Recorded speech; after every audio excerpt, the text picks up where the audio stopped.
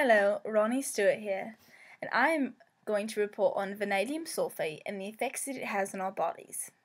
In this day and age, researchers and athletes are searching for any supplement that can give competitors the edge that they need to be successful.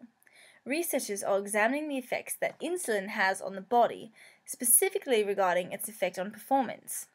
With this, they've developed an ergogenic aid through the use of vanadium sulfate that mimics the effects of insulin. Vanadium is an ultra trace element that naturally occurs in most mammalian cells. It is thought to be primarily absorbed orally through food. Furthermore, the physiologic rationale behind the use of vanadium sulfate, which has the insulin like effect, is that when an abundance of insulin is present, it increases the rate that glucose can have and be used by the cells, which in turn lowers the amount of glucose remaining in the bloodstream. If there's more glucose in the cells, the cells are thought to be more energized and thus can produce more performance. It is also thought that the body handles the drug by altering the concentration of several enzymes that help to break down and distribute glucose molecules and amino acids. This research was done by Schlunt and his colleagues. In another research study done by Moore and Friedel in 2006, they share that Vanadyl could potentially inhibit cholesterol synthesis. In one study done by them, vanadium was administered intravenously and was distributed via the intestine's and central compartment. In another study done by Heinemann in 2003, his colleagues reported that the intestines were the site of metabolism and distribution. In a study completed by Goldfein and his colleagues in 2000, their study further found that, van- that vanadyl sulfate does not modify the action of insulin to stimulate glycogen synthesis.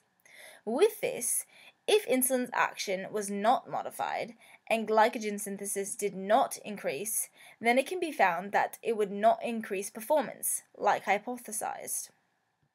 While vanadyl sulfate has been researched widely, in one study done by Goldfein and his colleagues in 2000, some members of his study experienced gastrointestinal intolerance. Others did not. Further research is needed to find the actual side effects of this drug. In Goldfein's study, participants were given dosages of 75 to 300 milligrams of Vanadyl. While these were considered to be safe dosages for the study, they were not effective dosages.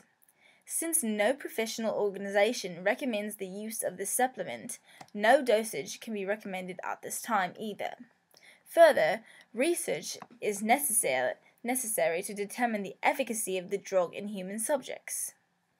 So, if some athletes are willing to risk their health to take this supplement, is it worth it?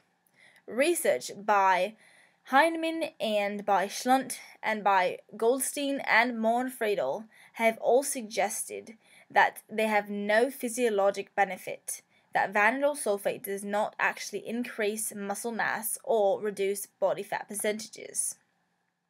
In Goldfein's study, it also needs to be noted that rats were the only ones that had physiologic benefits from vanadyl sulfate.